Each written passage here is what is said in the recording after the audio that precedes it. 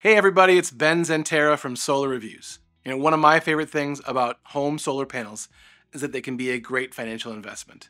Adding solar panels to your home means that you'll be able to offset a portion of your electric bills and save money every month. All those savings eventually add up, and one day, your solar panels will pay for themselves. The time it takes to completely pay off your initial investment in solar through incentives and electric bill savings is what's known as the solar panel payback period. Right now, the average payback period for solar panels in America is between 5 and 15 years. That's a pretty wide range, and you might be wondering why it's so different. Well, to put it simply, it has a lot to do with the state you live in and the utility company that you're connected to. But let's dig a little deeper and provide you with a better explanation. We'll take you step by step to learn how you can gauge the amount of time it takes for your solar panels to pay for themselves. Let's get into it.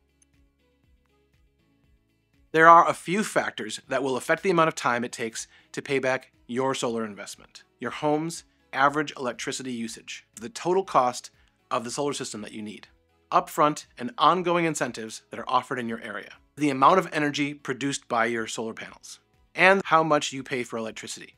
Let's take a look at a few examples and plug in some numbers. Step one is to find out the average electricity needs for your home. The first step to figuring out your solar payback is to determine how big your solar system should be. To do that, you start by looking at your home's electricity usage over the course of a year. We have an entire video that breaks down the math of calculating how many solar panels you need for your home, and we'll link that right there. For now, let's just give you an example. Let's say a home in Colorado uses about 9,500 kilowatt hours of electricity per year. Each kilowatt of solar in Colorado generates about 1,575 kilowatt hours annually. Take the 9,500 kilowatt hours needed and divide it by 1,575, and you get about 6. Now that means you'd need a system size of about 6 kilowatts to make enough energy to offset the home's total energy needs in a year. by the way, we're just using Colorado as an example here. Your state will have its own set of numbers related to solar energy production and the cost of electricity. But step two is to find out the total cost of your solar system before incentives. Right now in America, you can expect to spend an average of eighteen to twenty thousand dollars on an average-sized solar installation before any incentives are considered. You can find out exactly how much a solar system would cost for your home by looking at solar quotes from installation companies. Let's just say that 6 kilowatt solar installation from step 1 totaled $18,000. Step 3 is to find out what incentives and rebates are offered in your area. Any tax-paying homeowner in America who pays for a solar installation is eligible for the 30% federal solar tax credit. So that 30% credit for an $18,000 system would be around $5,400, bringing the net cost after one year to roughly $12,600. Depending on your state and utility company, other incentives may be available for you that could be combined with the federal credit and reduce that cost even more. For example, Colorado has incentives for low income homeowners and for adding battery storage. But we're keeping things simple here, so we'll assume you don't qualify for those additional incentives. Step 4 is to figure out the energy production from your solar panels.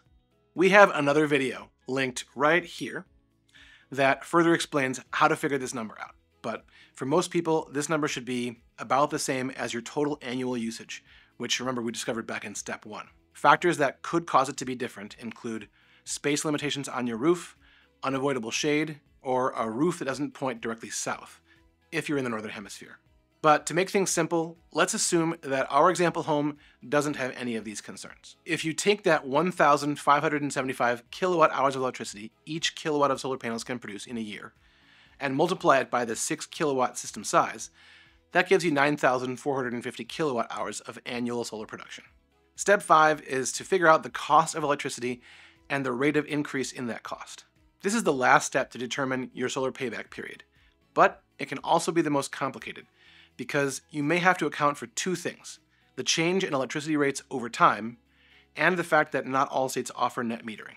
And that means some of the solar energy your panels make will be sent back to the grid and credited at a lower rate than the solar energy you use in your home. Luckily, people in Colorado who are served by Xcel Energy do get full retail rate net metering, so that makes our calculation way easier.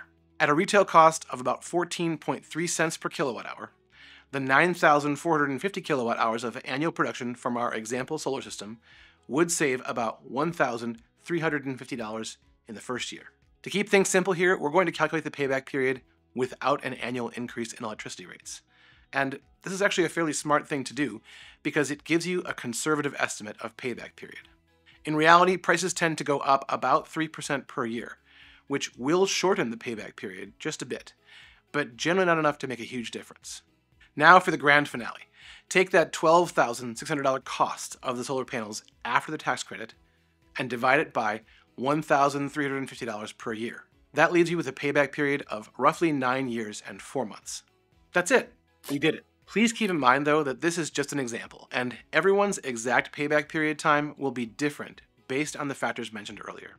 Depending on your situation, you could have your system paid off in as little as 5 years, now, this applies to people in states with good incentives and very high energy prices, like Massachusetts and New York. People in places with low energy prices and fewer incentives, like Mississippi or Alabama, will have a much longer payback. The one thing I really hope we've done here is to give you a better understanding of how to calculate payback period.